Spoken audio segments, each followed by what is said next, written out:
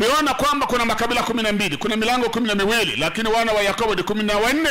Kuna makabila mawili yamepotea. Kama uko kwenye kabila hilo hama kungali asubuhi mapema ukichelewa umechelewa milele. Kwa hiyo huyu akafanywa kuwa mtoto ndio maana anahesabiwa na- lakini efraim amekosa mlango. Hana mlango wa mbinguni. Sasa swali nini kilifanya watu hawa wakoswe milango? Tuanze kuangalia tabia zao kwanza. Tabia zao zikoje? Na hasa hasa tukiangalia ma, fursa kwanza. Je walikuwa na fursa ya kuweza kuwa na mlango na kuingia mbinguni? Au hawakuwa na fursa wamefutwa kabisa? Naomba tusome mafungo haya. Mwanzo 49 mstari wa 16 imeandikwa. Mm.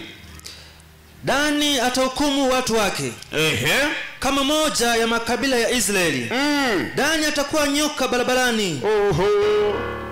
Eh, haya endelea dani atakuwa nyoka barabarani Mm. bafe katika njia Mm. aumaye visigino vya farasi Mm. hata pandaye ataanguka chali Mm. wokovu wako nimeungoja e bwana haya katika maaya hizi ambazo yakobo alikuwa anatoa baraka kwa kila mtoto wake. Anamtaja dan.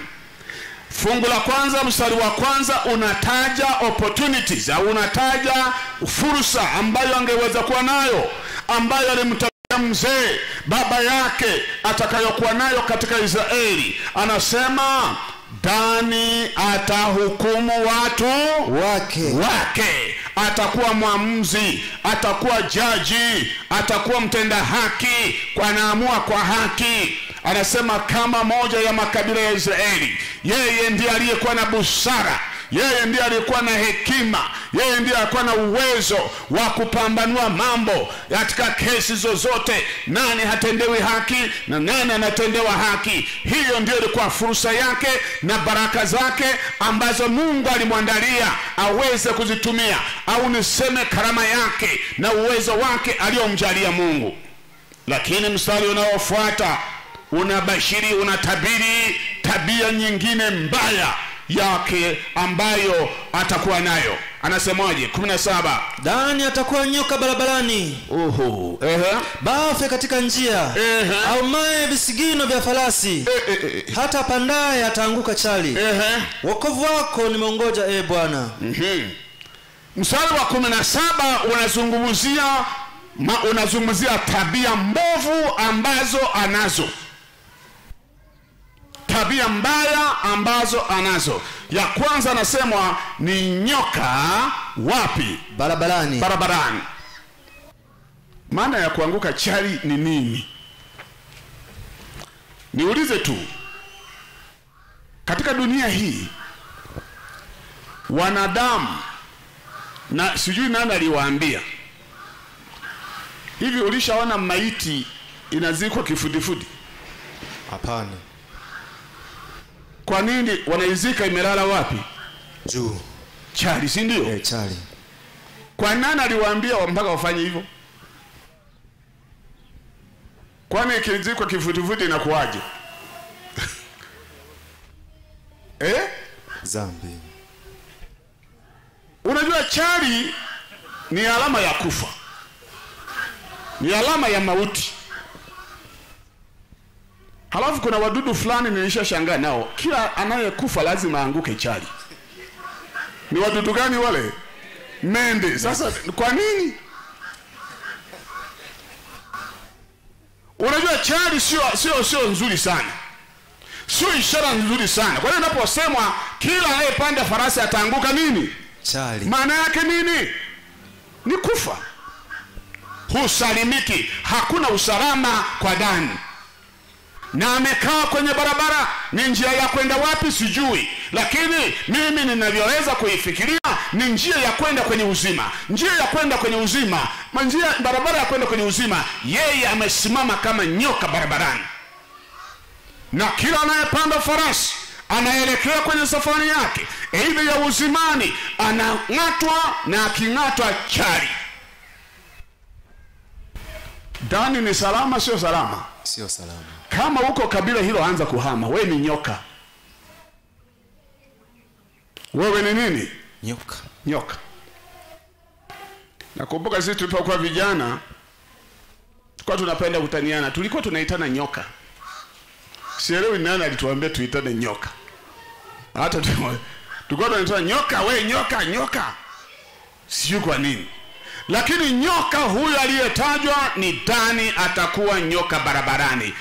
Dani ni kabila hatari katika maisha ya mwanadamu limekaa kuhakikisha limekumaliza, lakini lina fursa ya kutumika. Na wakati fungu la kumi na nane linatoa fursa nyingine. Fungu la kumi na nane linasemaje? Mwanzo 48:18 imeandikwa Mm, mm. wokovu wako nimeongoja e Bwana, mm. Wokovu nimeungoja ye nini? e Bwana. Hayo yalikuwa ni matumaini aliyopewa Dani kwamba anaweza akapata wokovu, hawezi akasema kwamba yeye aliandikiwa kufa au aliandikiwa kupotea. Kulikuwa na matumaini ya kuokolewa, lakini ikashindikana. Nini kilichomfanya ishindikane? Tabia nzuri za Wadani zilikuwa ni hizi: moja, walikuwa ni watu jasiri, walikuwa ni watu nini? Jasiri. jasiri. Pili, walikuwa ni watu wa kuamua mambo kwa haki, walikuwa na fursa ya kuamua mambo kwa haki. Na tatu, walikuwa ni watu walio na matumaini ya kuokolewa, lakini wamepotea. Kwa nini wamepotea? Walipalilia tabia ile ya pili, tabia ile ya kuwa nyoka barabarani na bafe njiani na wanaouma wanaouma wanaong'ata farasi za wasafiri, tabia ya kung'ata, tabia ya kuuma, tabia ya kung'ata wengine. Ni tabia gani katika maisha ya mwanadamu? Wasomaji wanasema na wataalamu wanasema tabia ya kuuma na kupuliza ni tabia ya usengenyaji, tabia ya uongo, tabia ya uzushi. Hizo zinaitwa tabia za kung'ata, tabia za nyoka. Ngoja niwaambie, kama kuna mtu aliyekuwa mwoga, aliyekuwa mwongo, kama kuna kiumbe anayesemwa ni baba wa uongo, ni nani? Shetani. Shetani, si ndio nyoka? Nyoka ambaye alitokea katika bustani ya Eden alikuja na a- akaja akaanzisha mazungumzo na mwanamke na wakaanza kumsengenya mtu. Nani walianza kumsengenya ndani ya bustani? Mungu. Mungu. Wakaanza kumsengenya Mungu, wakaanza kumteta Mungu, wakaanza "Ah, eh, hivi kweli eti eh, na wasengenyaji wanaanza na ati ati hivi ndivyo Mungu alivyosema msile miti yote ya bustanini. Kwani nani alisema usile miti yote ya bustani? Na hiyo kauli umeitoa wapi? Yaani huwa nafikiria wakati mwingine mimi ningemuuliza swali, nani amekuambia kwamba amekataa tusile yote? Kwa hiyo na akapeleka kwa mwanamke, akaenda akaanza uongo uongo, umbea umbea, kusengenya Mungu, eti ndivyo alivyosema, msiri mita. Huyu mwanamke naye akajibwanga, ah, hapana, Mungu amesema ya kwamba tusile, na tena tena tena, shetani akasema, amesema msile yote, tena msiaguse. Ah, akaongeza vitu vitu, wakazungumza hapo. Baadaye akamwambia, unajua, ngoja nikwambie, nikupe siri. Eh, eh, nipe. Sikiliza, amewadanganya Mungu amewaficha. Mimi najua ya kwamba mkila siku moja mtakuwa kama nani? Kama Mungu. Haya, laleni. Ndio vinavyochochea hivyo, na, na hiyo kauli akaikubali, akaiamini, akala. Alipokula mwanamke, je, aliendelea alianguka chali au hajaanguka chali? Mpaka leo wanadamu wanaanguka chali kwa sababu ya usengenyaji na uongo na umbea wa shetani, na huyu Dani ni nyoka barabarani. Samson ambaye hajali ndiye aliyeenda akaficha, akachukua asari iliyotoka kwenye mzoga kwenye mzoga wa, wa simba akala yeye, akawapelekea wazazi, na walikuwa hawaruhusiwi kula. Badala ya kuambia ukweli kwamba wazazi wangu, hii asali ukweli ni iko kwenye mzoga, nimetoa kwenye mzoga, na tena mnyama najisi asiyeliwa. Hivi asali iliyotoka kwenye mzoga najisi. Na pamoja asali isiyo najisi. Najisi jumulisha na kisicho najisi. Jibu ni nini? Ni najisi. Wali. Wali ukaweka kwenye sinia. Wali umepikwa vizuri na unanukia lakini ukaenda chooni ukachota kipande cha nyama ma, nini hiyo? Kinyesi kidogo ukaweka hapo juu. Halafu ukatenge. Huo wali unalika au hauliki? Hauliki. Kwa sababu ukishaweka inajisi ni najisi lakini samson akapelekewa wazazi akawalisha na hakuambia ukweli. Uongo ingawa alinusurika Mimi nasema samson alihama. Bwana asifiwe sana. Amina. Maana katika kitabu cha Waebrania ameahidiwa kwamba ata ni mmojawapo wa mashujaa wa imani. Ulipatikanaje ushujaa wake? Kwa sababu saa ya mwisho samsoni aliamua kuhama akahama kabila la dani. Na kama atakwenda mbinguni kama biblia ilivyoahidi hataona mlango wa dani isipokuwa ataingia kulingana na maisha yake alivyoyabadilisha yakafanana na kabila fulani. Bwana asifiwe sana. Amina yatafanana na kabila fulani ataingia katika hilo. Lakini hata samueli alikuwa ni kabila la, la ah, samueli ni kabila jingine.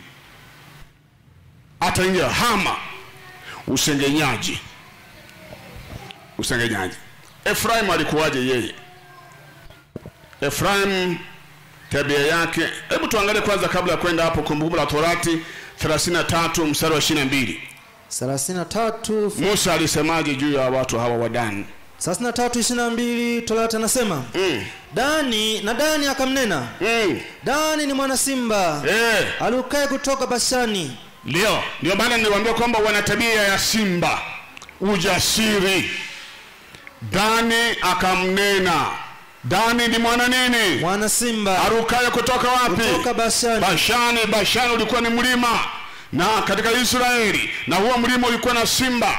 Ambapo sasa anafananishwa na simba anayeruka kwa hiyo dani walikuwa ni kabila la majasiri wana, wana, wana sura kama simba. Na, na yuda naye ni simba. Kwa hiyo walikuwa na, na fursa ya pekee yake. Walikuwa na fursa ya kuwa majasiri na wapiganaji na watu mashuhuri lakini waliitumia vibaya. Na kama unataka ujue ujasiri wa, wa, wa dani ndipo unaposoma habari za samsoni unakutana jasiri asiyo wa kawaida jasiri anayepigana peke yake jasiri ambaye hataki hata vikao anaendesha nchi anavyoona mwenyewe na kufanya maamuzi anayotaka mwenyewe. Ni ndiyo ni jasiri anapiga watu lakini ana shida.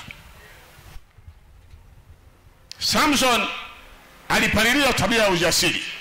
Kauongo-uongo kakuwa anaingia mle na kambindimbibi kakaingia lakini baadaye mwisho wa maisha yake akiwa ametobolewa macho akasema ee mungu nakuomba katika safari hii ninapomaliza maisha yangu unikumbuke mara hii tu nifanye kazi ya ujasiri. Nimejitolea muhanga kwa ajili yako na yeye akafa na watu wengi na kuanzia hapo samsoni alihama kabila la dani. Efraimu naye alikuwaje? Efraimu mnakumbuka na nimesoma kuzaliwa kwake. Waefraimu ndio waliokuwa wengi sana kabila ambalo lilikuwa na watu wengi katika israeli. Lilikuwa kubwa sana. Na baada ya wakati utawala wa israeli ulipogawanyika mara mbili ufalme wa kaskazini ulijulikana kama israeli. Na israeli aliyekuwa anatawala sana sana ni waefraimu. Na ulikuwa unaitwa wa- waefraimu. Waefraimu hawa walikuwa na tabia nzuri na mbaya na fursa walikuwa nazo. Fursa ya kwanza ni kwamba walikuwa wengi. Fursa ya pili walipendelewa. Bwana asifiwe. Mzee yakobo alinyang'anya haki ya mzaliwa wa kwanza wakapewa nani? Efraim. Sasa wakati huo kuanzia kipindi kile wali walianzisha tabia mbaya baada ya kunyang'anywa yule mkubwa haki ya uzaliwa wa kwanza. Efraimu akaota kiburi, Efraimu akajiona wa maana, akajaa kiburi. Kabila la waefraimu maisha yao yote lilikuwa ni la watu wenye kiburi. Na kujiona na kuona wengine hawana maana yoyote. Hiyo ni, ni sifa ya kwanza. Ni tabia ya kwanza mbaya ya waefraimu kama una kiburi hama. Hiyo kabila haina mlango. Lakini wadani na waefraimu ndio walioongoza katika ibada za sanamu. Tutapitia mafungu baadaye. Lakini tabia ya tatu ya waefraimu walikuwa ni watu wenye wivu na kijicho. Wivu na nini? Na kijicho ambacho kilipelekea ibada ya sanamu kuanzishwa katika maisha yao. Na vile vile walikuwa na tabia ya wizi wa mali za watu wengine. Sasa ngoja tuone hapa. Hebu tuangalie mafungo haya yanayoonyesha kiburi na wivu wa waefraimu. Waamuzi nane. Waamuzi nane. Tuanze na mstari wa kwanza kitabu cha waamuzi mm. nane mstari wa kwanza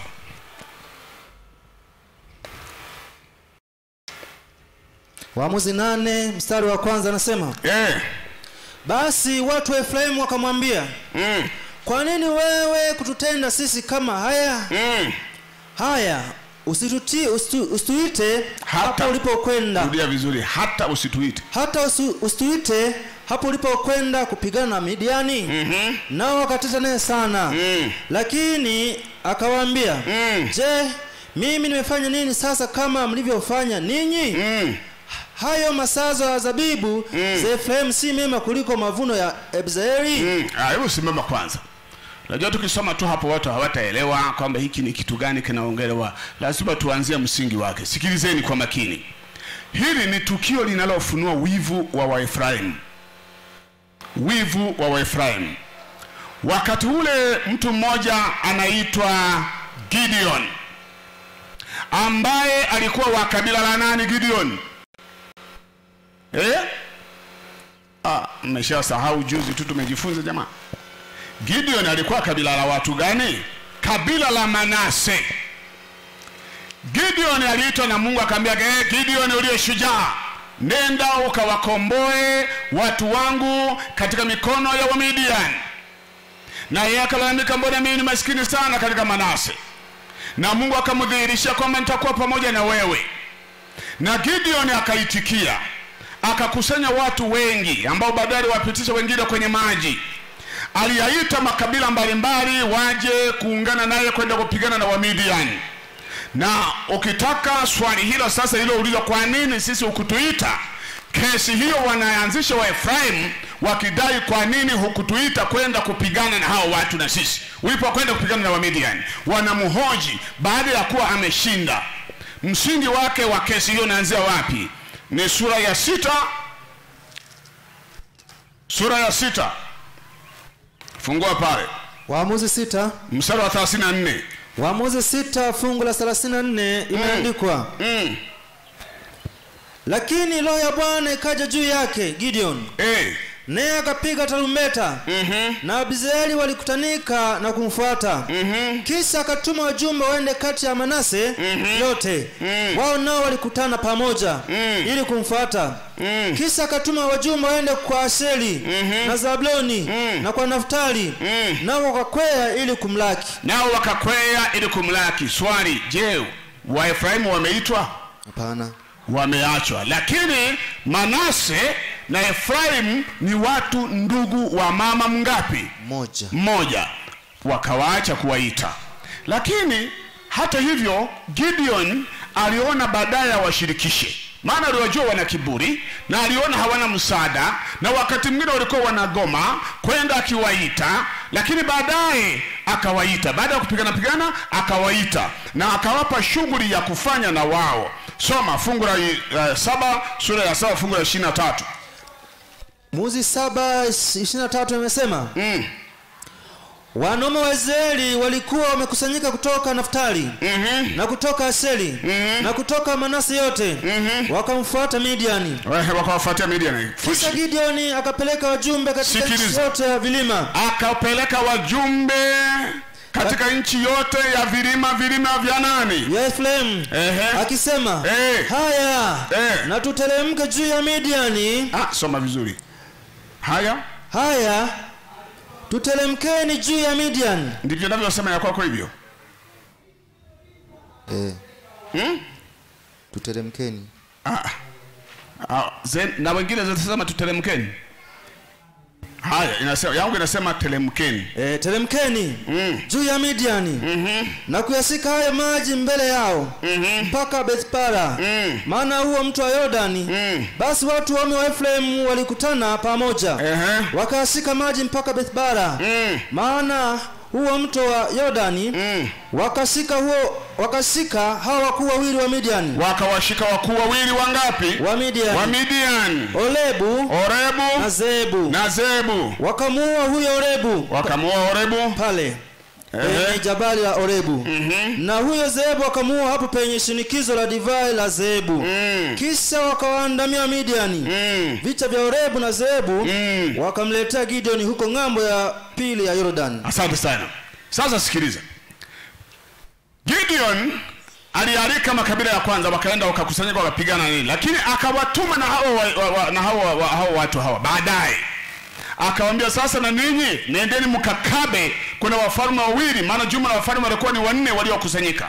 Nendeni mkakabe mahali fulani mshughulike na wale hawa kule wakaenda wakapigana waefraimu baada ya kumaliza wakamgeukia ndipo wakamwambia kwa nini hukutuita tangu mwanzo?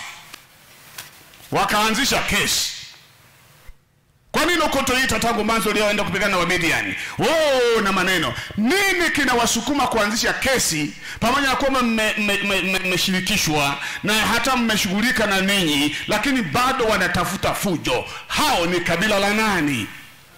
La efraim. Kuna watu wasioridhika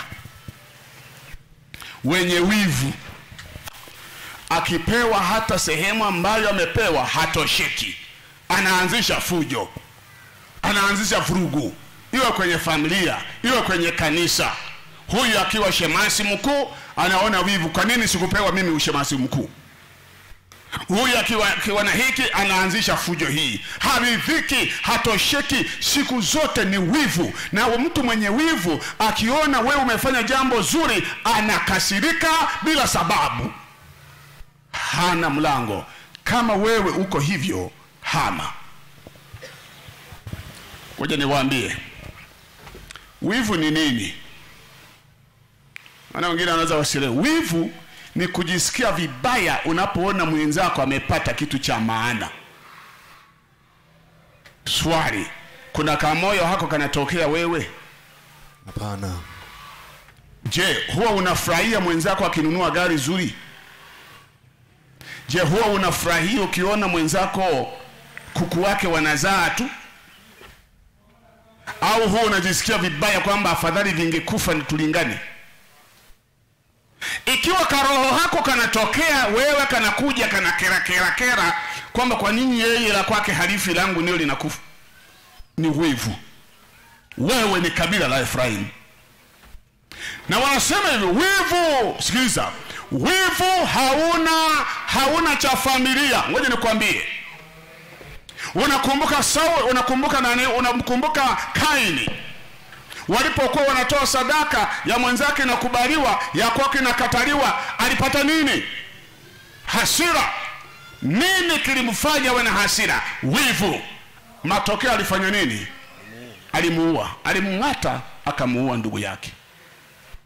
Wivu. Wewe mama wivu haujalishi mme na mke haujalishi wewe wewe ni nani. Hata wakati mwingine watu waliooana wanaweza kuoneana wivu. Wivu ni mjinga wivu ni hovyo ni ugonjwa mbaya na unaua. Maana nilikuta mahali fulani wazee mme na mke. Watoto wao walishawasomesha wana wameshaendelea huko. Sasa mzee akaletewa suti na watoto wake. Mnanisikia? Akaletewa nini? Suti. Kwa sababu alikuwa wameona mzee sasa hata nguo hana. Wakampelekea suti. Sasa hela zikawaishia.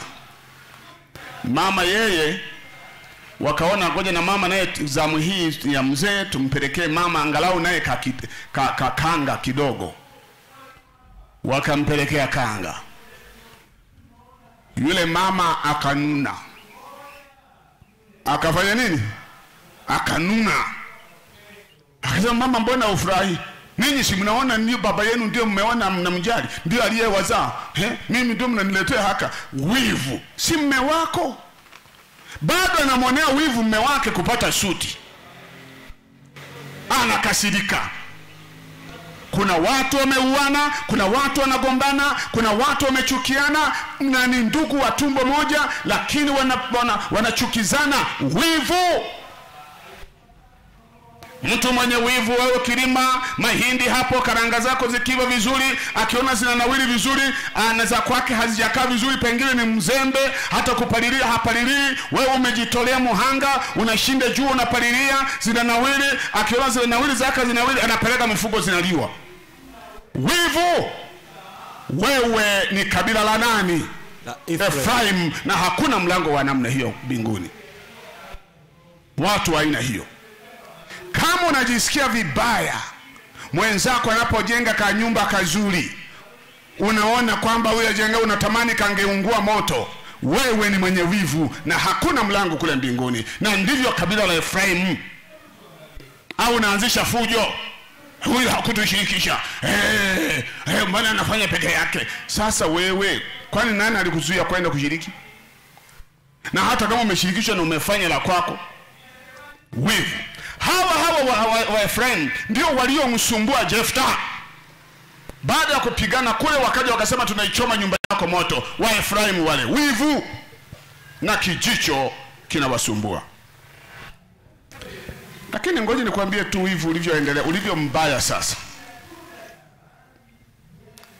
Tufungue kitabu cha Wafalme wa kwanza. Waefraimu, uone Waefraimu ulivyowasumbua wivu wao na mambo walioyafanya katika Israeli. Wafalme wa kwanza. Wafalme wa kwanza kumi na moja. Kumi na moja. Ndiyo. Mstari wa kwanza. Anza na mstari wa ishirini na sita kwanza. Anasema Mm. na Yeroboamu -hmm. wa Nebat Ndiyo Mwefraimu Mhm. wa Sereda mm-hmm. mtuma wake Sulemani hey. ambaye jina lake mamaye aliitwa Serua Mm. mwanamke aliyefiwa na mumewe Mm. yeye naye akainua mkono wake juu ya mfalme Sikiliza, mtu mmoja anaitwa Yeroboamu wa Nebati. Mtu gani? Kabila gani? Mwefraimu Mwefraimu. Anasema akainua mkono wake juu ya nini? juu ya mfalme Kwa nini aliinua mkono wake juu ya mfalme? Fungu la 27. 27 anasema Mm. na hii ndiyo sababu yeye ye, yeye na hii ndio sababu ya yeye kumwinulia mfalme mkono Mm. Sulemani alijenga Milo mm-hmm. akapafunga palipobomoka Mm. pa mji wa baba yake Daudi mm-hmm. na huyo Yerobamu alikuwa mtu hodari Ni kweli ni watu hodari hawa shujaa mm-hmm. Sulemani akaona kuwa kijana huyo ni mtu mwenye bidii Mm. akamweka juu ya kazi yote ya nyumba ya Yusufu Simama, sikiliza kisa hiki. Anasema, na hii ndiyo sababu ya kumwinulia mkono mfalme. Sulemani alijenga Milo. Sulemani ni mwana wa Daudi. Milo ni kama ni kama eneo fulani bonde bonde hivi. Kulikuwa na mahali ambapo palikuwa pamejengwa vizuri, sasa palikuwa pamebomoka, na Sulemani kwa sababu alikuwa ndiye mfalme na huyo Yeroboamu ni kijana mwenye bidii, akamweka kuwa msimamizi wa shughuli zote za mfalme. Mna- Mnanielewa eh? Ndio. Akampa vyeo, akampa madaraka, akampa majukumu makubwa, maana ni hodari. Sasa Daudi eh, Sulemani akaamua kuboresha maeneo ya makazi ya baba yake, sehemu zilizobomoka akazijenga vizuri. Kumbe hilo ni kosa kwa nani? Kwa Mefraimu. Akaona wivu, akainuka kinyume akaanza kufanya mambo kinyume akakasirika akachukia. Yapo mambo mengi yaliendelea pale. Ni kweli sulemani alikuwa na matatizo matatizo katika utawala wake lakini akayatumia matatizo hayo sasa kujijenga amwondoe kwenye madaraka. Twende twende 40 soma 40 tu. Fungu la 40 nasema mm, basi sulemani akataka kumuua yeroboamu. Mm, lakini yeroboamu akaondoka. Mm, akakimbilia misri. Mm. kwa shishaki Mhm. mfalme wa misri. Ehe. akakaa akakaa katika misri hata wakati wa kufa kwake sulemani sasa alipoanza figisu figisu hizo huyo yeroboamu sulemani ni mfalme akatafuta kufanya nini? Kumuua. Kufanya nini? Kumuua. Kumuua na alipoona ataka kuuawa akakimbilia wapi? Misri. Kwa nini aende misri asiende sehemu nyingine? Unajua siri yake? Hapana. Mnajua siri yake? Hapana. Amezali, alizaliwa wapi?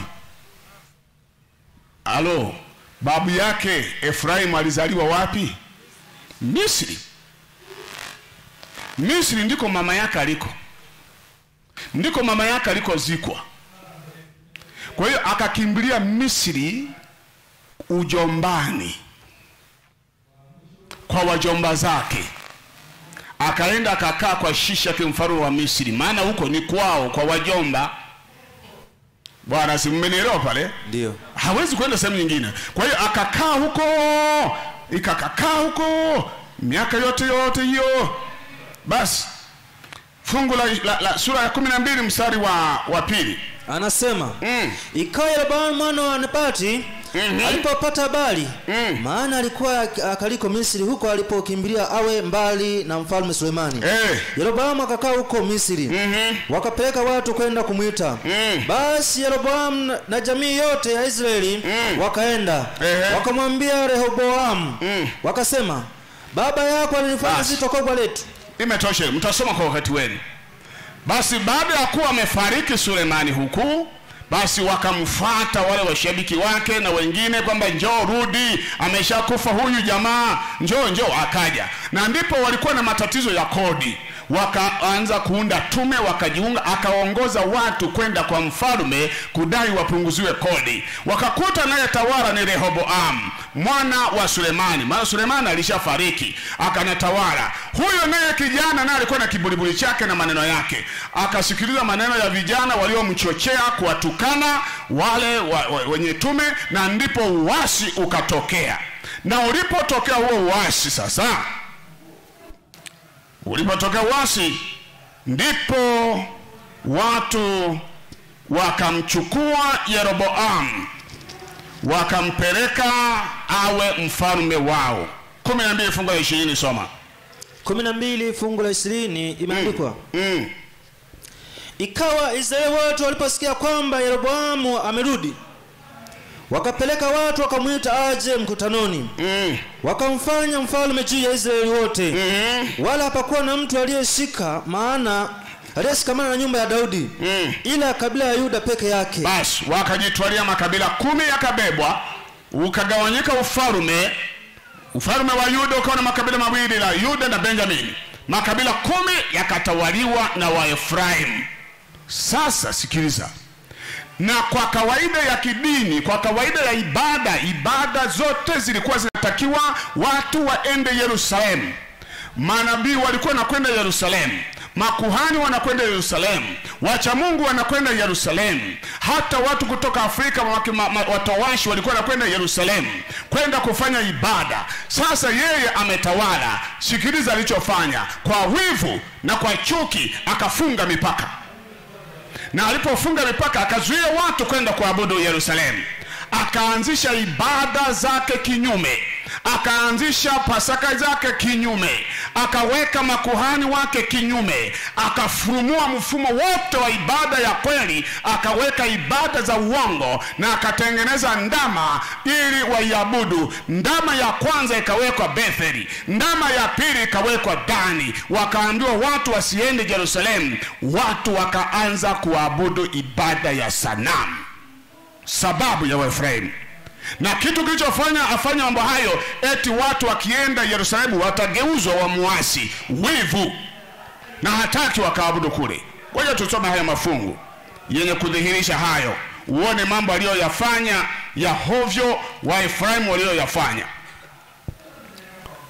haya sikiliza hapo fungu la 25 fungu la 25 Mm. imeandikwa ndipo yeroboamu akajenga yeshekemu katika mlo wa efraimu akakaa huko uh-huh. akatoka huko akajenga penueli uh-huh. yeroboamu akasema moyoni mwake mm. basi ufalme utarudia nyumba ya daudi mm-hmm. kama watu hawa wakipanda kwenda huko kutoa dhabihu mm. katika nyumba ya bwana huko yerusalemu. Mm. ndipo mioyo ya watu hawa itam, itamrudia bwana wao. Uh-huh. yaani Lebo- rehoboamu mfalme wa yuda. Ndio. Nao wataniua mimi na kumrudia rehoboamu mfalme wa yuda.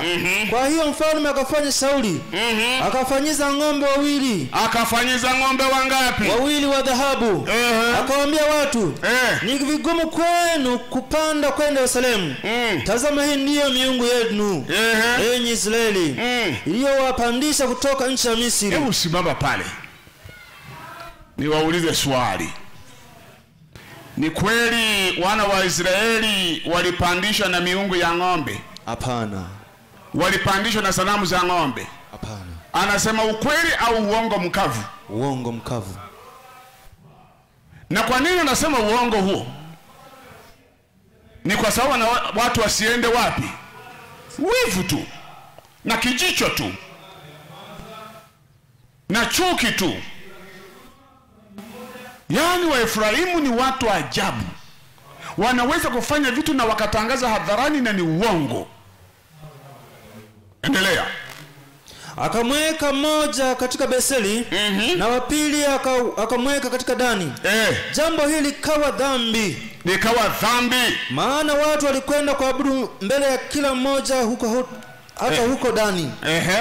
tena akafanya nyumba nyumba za mahali pa juu. Uh -huh. akafanya na watu wowote. Mm. watu wasio wana walawi wasio wana walawi kuwa makuhani. Wakawa makuhani. Yeroboamu akaamua kushika sikukuu katika mwezi wa nane. Eh, siku ya kumi na tano ya mwezi. Na sikukuu akabadilisha. Mfano wa sikukuu iliyokuwa katika yuda. Mm. akapanda juu ili kuiendea madhabahu. Mm. akafanya vivyo katika betheli. Mm. akiwatolea dhabihu wale ng'ombe. Na yeye akawatoa dhabihu. Aliyowafanya eh, akaweka katika betheli wale makuhani Eh. wa mahali pa juu alipokuwa amepafanya. Eh, akatoa dhabihu juu ya, vi, ya ile dhabahu mm, aliyoifanya katika betheli. Mm-hmm. siku ya kumi na tano ya mwezi wa nane. Mm. mwezi uliowaza moyoni mwake mwenyewe.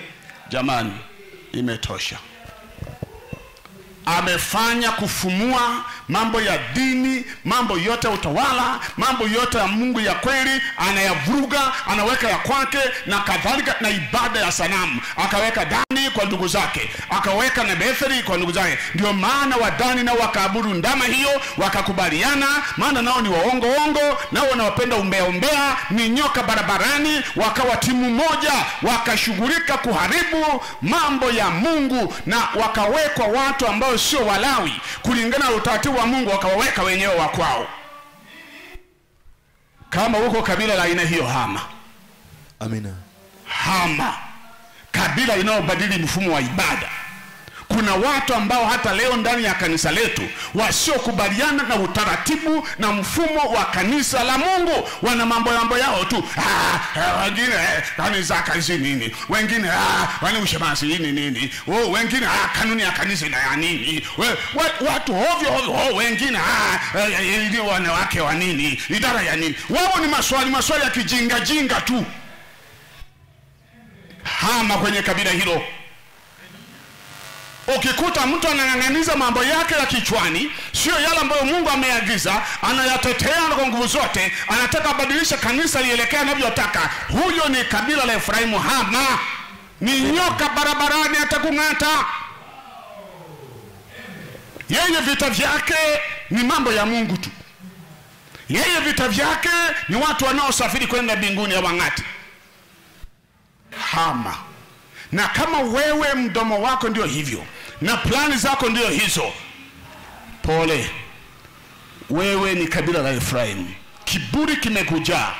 Vijicho wivu umekujaa kila wakati unaonda tu wewe wenzako wamekuzidi unakasirika. Moyo unakerwa kerwa unakerwa nini? Kwa nini usifurahie mafanikio ya mwenzako? Hutaki afanikiwe. Akikushinda mtihani hasira. Akikuzidi mazao hasira. Akikuzidi nyumba kidogo hasira. Akiona hii uchuki akiona ng'ombe zake wamezaa sana umechukia wewe ni kabila gani? Wewe ni efraimu ni nyoka barabarani. Wewe utatuende, utatusimamishia sanamu. Na kama uko kwenye kabila hilo hama. Sasa sikiliza. Hivi mungu hakuwasaidia walipokuwa wanafanya mambo haya aliwasaidiaje mungu watu hawa wa dani na waefraimu naomba twende haraka kidogo.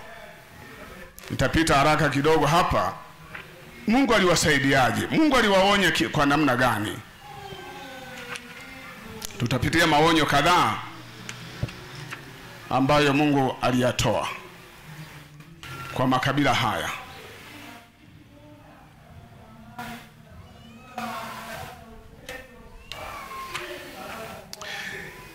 hebu sikiliza. Mungu aliwaonya kwa namna gani? Mungu aliwasaidiaje katika maonyo haya? Mungu hakuwaacha hivi hivi hawa watu. Aliwasaidia sana na alitamani waokolewe lakini walikuwa na shingo ngumu kwa sababu ya kiburi kwa sababu ya kuona wengine ni waovyo kwa sababu wao walijiona ni bora walipotea. Naanza. Fungua hosea hosea sita fungu la nne. Soma. Hosea sita fungu la nne imeandikwa. Mm, efraimu mm. na nikutendee nini? Efraimu nikutendee nini? E yuda e yuda nikutendee nini? Mm. kwa maana fadhili zenu ni kama wingu la asubuhi na kama umande utokao mapema. Mm, kwa sababu hiyo mm -hmm. nimewakatakata kwa vinywa vya manabii. Mm. nimewaua kwa me, ma, maneno ya vichwa kinywa changu mm -hmm. na hukumu yangu itatokea kama mwanga mm. maana nataka fadhili wala si sadaka. Nataka fadhili wala sio sadaka. Na kumjua mungu kuliko sadaka za kuteketezwa. Asante sana. Twende fungu la kumi. Fungu la kumi anasema Mm. katika nyumba ya israeli. Katika nyumba ya israeli. Nimeona jambo bovu kabisa. Nime mungu analalamika anasema katika nyumba ya israeli nimeona jambo bovu namna gani? Kabisa. Kabisa. Nini? Huko kuna uzinzi. Kuna uzinzi. Umeonekana katika efraimu. Umeonekana katika efraimu israeli imetiwa unajisi. Israeli imetiwa unajisi. Mungu analalamika. Anasema katika efraimu nimeona uzinzi. Sio uzinzi huu wa kawaida. Uzinzi katika mambo matakatifu. Wanaokoteza masanamu ya ng'ombe kutoka misri wanaleta. Wanaweka sikukuu zingine ambazo hazijasomwa na mungu wanaweka wanaweka walawi ambao hawaistahili wanaweka. Lakini wivu nao umejaa sana fujo zimejaa sana na wanatamani wateketeze ufalme wa yuda. Wao ndio waingie. Tutafika na huko. Na mungu mwisho alitangaza ya kwamba sasa hawa wamezidi. Visa hivi vinajirudia.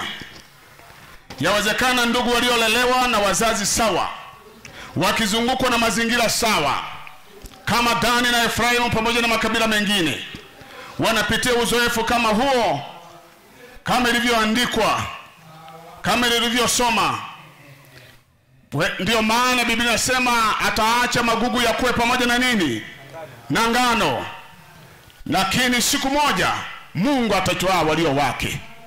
Unaweza ukakulia katika mazingira hayo.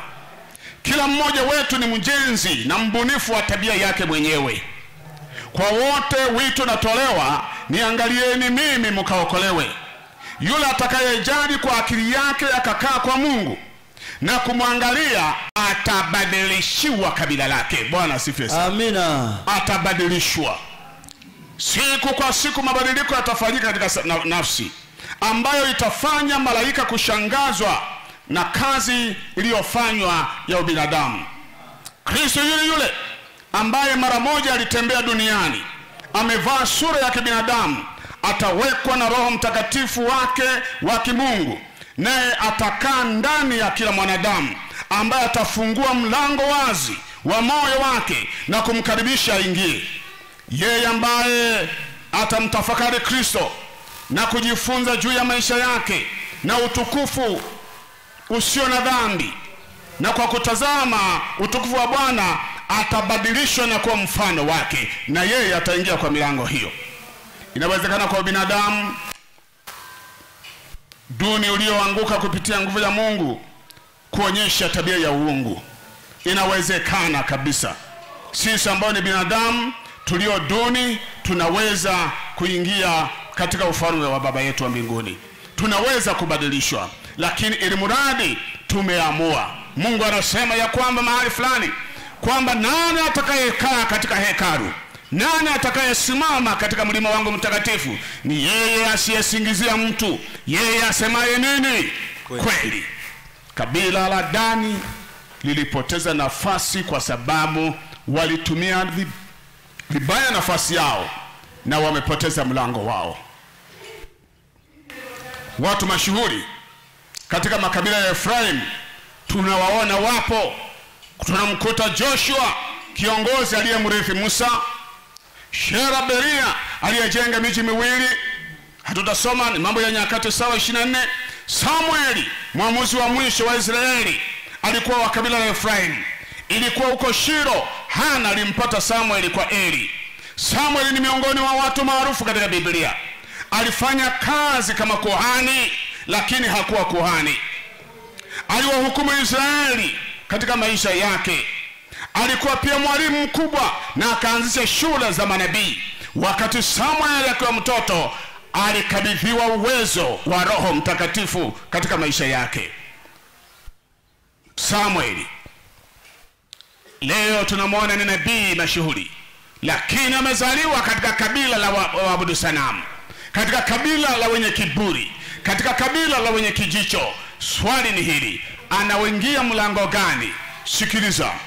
Ataingia mji mtakatifu. Bwana asifiwe. Amina. ataingia mji mtakatifu kwa mlango upi? Maana hakuna lango la efraimu. Sikiliza.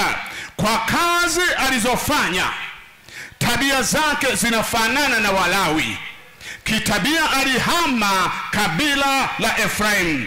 hata wewe unaweza kuhama kabila la efraim alifanya mpaka kazi za ukuhani ambayo ilikuwa ni wawalawi alikuwa ni nabii kama akina musa.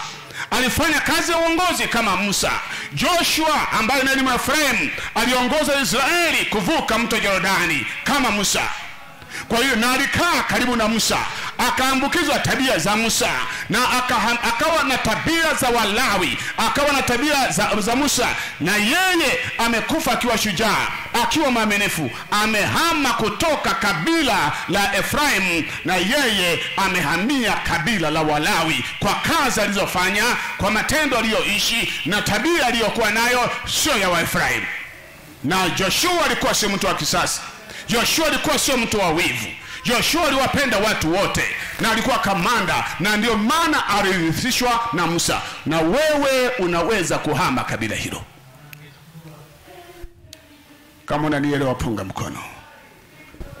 Wangapi wanasema bwana tusaidie bwana tusaidie kwamba kama uko kabila la waongo wenye vijicho wenye usengenya hama kwenye kabila. Halina mlango kama unakubaliana na mimi hilo simama kwa mikono ya, miguu yako. Simama kwa miguu yako. Na niwaite kwa pamoja kwa siku ya leo tujiweke wakfu kwa bwana. Tunainua mikono yetu juu mimi na mchungaji makoe juu ya kusanyiko hili tena. Baada ya kusafiri ukizungumza nasi na ukituelekeza ya kwamba iko milango kumi na mbili ya makabila kumi na mbili ambayo wanadamu wote wana fursa ya kuingia moja ya milango hiyo katika jiji la Yerusalemu. Nasi Mungu wa mbinguni tunakushukuru sana kwa sababu ya ujumbe huu maalum katikati ya kusanyiko hili la Katesh. Wakati huu wa mwisho tunapoelekea katika kufungwa mlango wa rehema umetujia tena kwa nguvu za roho wako mtakatifu kupitia kinywa cha mtumishi wako. Ukinena nasi ukitutia nguvu ukitutia moyo ya kwamba bado tuna nafasi ya kuingia katika lile jiji jina lako litukuzwe sana. Na mchana huu wa leo umetutahadharisha ya kwamba katika makabila yale kumi na nne liko kabila la Efraim na Dan ambao ni kabila ambalo hatupaswi kufungamanwa nalo, ni kabila lenye wivu. Na kweli Mungu wa mbinguni, wivu umetusambaratisha na watu katika jamii. Wivu umevunjavunja mahusiano ndani ya kanisa lako. Wivu umevunja mahusiano katika familia zetu. Wivu umefanya hata watu wako wengine wakatae majukumu ndani ya kanisa. Lakini kabila la Dan lilikuwa lina uzoefu wa kutumia ulimi vibaya. Usengenyaji ulikuwa mwingi sana katika haya makabila mawili. Wako watu mioyo yao imesogezwa mbali na wewe kwa sababu walinenewa vibaya ndani ya makanisa yao. Wako wengine walinenewa vibaya wakaacha hata kuimba kwaya. Wako wengine walinenewa vibaya wakaacha kazi kanisani. Wako wengine walinenewa vibaya hata waliacha muda mrefu kuja kukuabudu, ila ni siku ya leo tu wameona waje wafunge kambi. E Mungu wa mbinguni unayerehemu maelfu ninawaona watoto wako wakiwa na shauku wengine kutamani kuhama kutoka kabila la Efraim na Dani ili waingie katika makabila mengine kama Samson alivyofanya, kama Samuel alivyofanya. Sasa Mungu wa mbinguni, kama Paulo alivyokwisha kusema, nguvu za kuhama haziwezekani kibinadamu bali uwezo na mamlaka ya roho wako mtakatifu ndiyo yanaweza yakafanya hivyo na mchana huu wa leo mungu wa mbinguni tamalaki mkutano huu. Yeyote mwenye shauku ya kuhama mjaze nguvu za roho wako mtakatifu msaidie huyu mama kuhama kabila la Efraimu na Dani. Msaidie huyu baba kuhama kabila la Efraimu na Dani. Msaidie huyu kijana kuhama. Hata hivi tunavyoomba, wako wengine wanahisi kuna msisimuko usiokuwa wa kawaida, kwa sababu shetani amewafunga, amewafunga ili wasihame kimawazo kwenda kwenye makabila yanayofaa. Amewafunga wengine hata kimwili. Katika jina la Yesu Kristo tunaomba Mungu wa mbinguni wakaachiwe katika jina la Yesu waachiwe katika jina la Yesu, waachiwe ili wawe na nguvu za kuhama, wahame kutoka katika ubaya waingie katika wema, wahame kutoka kwenye giza waingie katika nuru, wahame kutoka katika njia ya upotevu waingie katika njia ya uzima, wahame kutoka katika jeshi la shetani waingie katika jeshi la Kristo, wahame. Mungu wa mbinguni, tunaomba hizo nguvu, wahamishe watu wako. Wako wengine wamelitukana kanisa vibaya, wako wengine wametukana idara vibaya, wako wengine wamelinenea, wamenenea viongozi vibaya, hata wachungaji wameonenea vibaya, lakini baada ya neno lako wako tayari kuhama.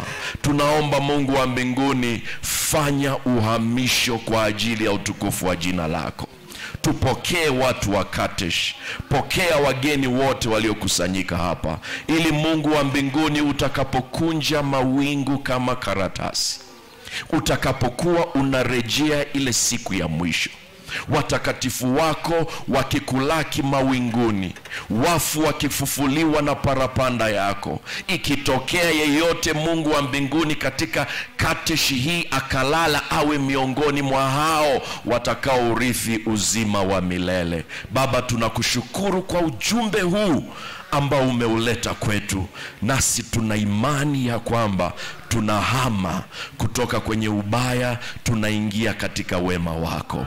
Hivyo basi, mjalie mtumishi wako mchungaji Makoe na nyumba yake, ya kwamba hata wao tukawaone katika uzima wa milele. mchana huu wa leo tunapotawanyika ikiwa ni siku ya maombi yawezekana katika mkusanyiko huu yuko mtu ana ombi maalum sana. Anasema mungu unapozuru wengine usinipite. Ikiwa kuna mtu ana ombi maalum liwe ni kwa ajili ya familia yake iwe ni kwa ajili ya kazi iwe ni kwa ajili ya tukio la kifamilia iwe ni kwa ajili ya ajira iwe ni kwa ajili ya biashara iwe ni kwa ajili ya mahusiano lakini ana ombi maalum anasema mungu unapozuru wengine usinipite katika hili. Inua mkono wako juu inua mkono wako juu. Iwe ni ugonjwa iwe ni mgonjwa yuko mbali na wewe iwe ni wewe mwenyewe lakini kwa imani unainua mkono wako juu unasema mungu usinipite. Baba wa rehema watazame watoto wako. Tafadhali sana usiwapite. Wanaohitaji uponyaji waponye katika jina la yesu. Wanaohitaji jambo litendeke katika ajira zao kazi zao biashara zao baba ninaomba ukawajibu asante kwa uaminifu wako. Asante kwa kutusikia. Asante kwa kutubariki. Neema ya bwana wetu yesu kristo iwashikilie na kuwaingiza katika milango ambayo ni ya makabila yenu kwa ajili ya utukufu wa jina la bwana. Na upendo wa mungu baba uwashikilie katika maisha ya sasa ukiwaandaa kwa ajili ya maisha ya baadaye. Na nguvu za roho mtakatifu zikawaelekeze katika dira iliyo sahihi mpaka bwana atakaporejea tena kuwachukua nyumbani. Ndivyo tunavyowaombea na kuwabariki katika jina la baba la mwana na la roho mtakatifu kila anayeamini aseme amina. Amina